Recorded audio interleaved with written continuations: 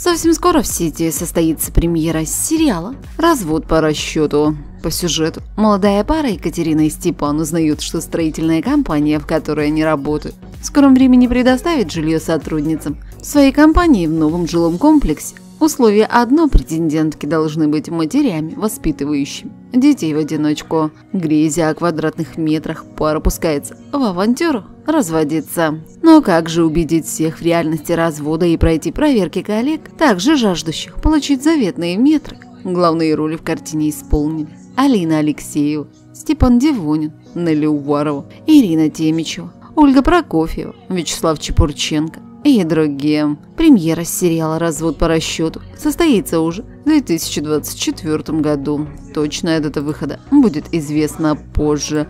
Подписывайтесь на канал и будете в курсе всех событий о любимых сериалах.